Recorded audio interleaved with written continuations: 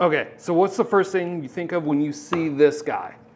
This whole thing, all the way through here. Yeah, it's a door. That's the first thing I thought of too. So let's make this thing a door.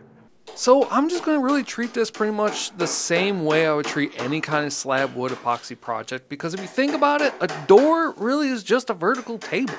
Just take the legs off a table, add a doorknob, add some hinges, and boom, there you go. So I start by just cleaning up the slab by taking off all the bark and dead rotten wood and just really just making sure there's no creepy crawlies still living in it. And normally, after I take off all the large pieces of bark, I'd use a wire wheel attachment on a drill to really clean up all the edges, and that takes a long time. For example, something of this size would take upwards of probably like two hours. But I came up with an idea of using the shaping tool I picked up for this video and it worked perfect. It only took me 20 minutes to do the whole thing. But there's one big problem.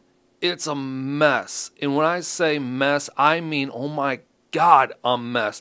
Have you ever found a Tupperware container in like the bottom of your trunk or hidden somewhere or way in the back of the fridge and it's been there for so long that you're not going to open it up. You just think, nah, nah, it's too far gone and just throw the thing away. That's what I felt like doing with my whole entire shop. But after the several hours of cleaning, I wanted to whip together a uh, quick router sled just so I could get this down to about an inch and a half or so and kind of just level it off because there's a bit of a bow in it. Okay, so I found my first screw up, and surprisingly, it has nothing to do with that. It has everything to do with my complete inability to read descriptions of things when I buy stuff. And the screw up is this. It's my new flattening bit. You could tell it's pretty small because I didn't read the description well enough to realize this is only one inch big and it came today and I'm I don't really feel like waiting on ordering a new one, so I am actually just gonna use this. So some simple math, we can figure out how long this is actually gonna take me. So if this is a one inch bit, that's 80 inches long, and if roughly every pass is about 30 seconds. That's 80 passes at 30 seconds, which is going to equal that. And if I do roughly, say, let's say three passes on each side, it's going to be that times six, which is going to give me that. And that in hours is shit. But some good news, it actually only took me about three hours and 45 minutes, so yay for that. But whatever, it's done. On to the next part.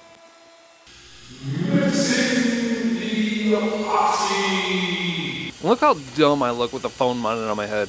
Yeesh. Anyways, for this project, I figured out I would need about 11 gallons of deep pour epoxy, and in the biz, that's called a crap load of epoxy. The epoxy alone costs $700, so I didn't want to mess this up. That's why I'm only mixing up 3 gallons at a time, and I'm using a syringe to measure out the dye, because I want each batch to be exactly the same. But now time to pour. Look at that split screen action getting you all the angles.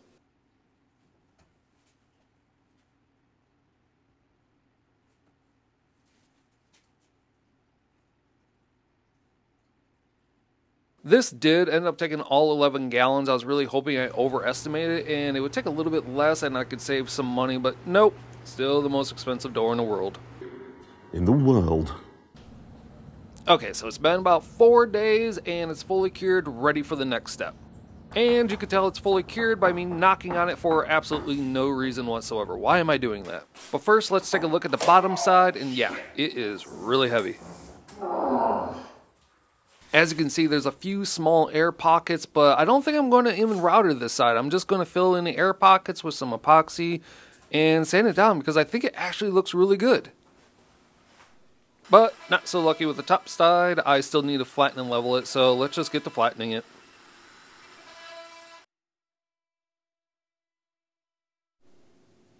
And now that that's done, let's move the sanding. Oh yay, sanding. Sanding and sanding and sanding, endless sanding.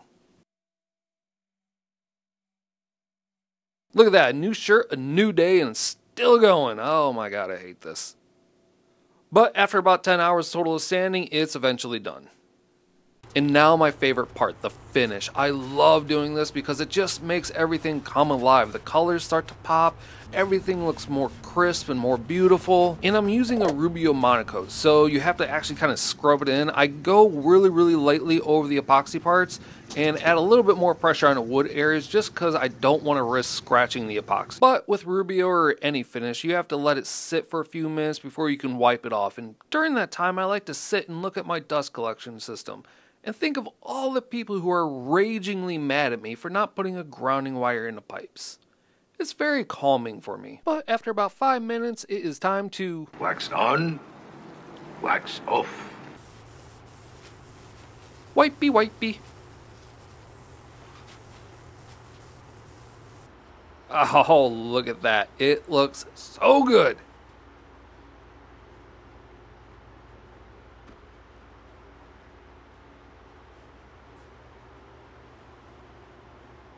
Okay, so the door is pretty much done. I got the handle put on, I got the hinges put on, everything's ready to go and I'm about to go mount it. But I'm gonna run into one huge issue, and that's the weight. A normal interior door weighs right around 33 pounds.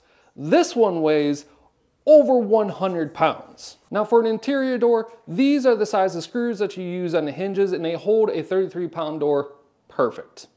But now for a 100 pound door, I'm thinking some of these guys. I think these are gonna work perfect in all the hinges, so let's go. Oh, hello. How do you like my new door? This is awesome. And all it took me was about $2,000, about four weeks, a whole entire shop, about $10,000 of equipment, and you can have one of these too. Is this thing practical? Absolutely not. Should you do it? Yeah, I'm gonna have to say, don't waste your money. But this thing is awesome, and if as long as it doesn't rip the wall off, I think it'll be okay. All right, that's it. I just want to say thank you so much for sticking around. If you could, could you please just drop a like, a comment? Tell me what you think of this. And also, I just got new stickers. I'll put them in my Etsy shop. And I'll leave the Etsy link down below. But as usual, just thank you so much for watching. I genuinely appreciate it, and I'll see you next time.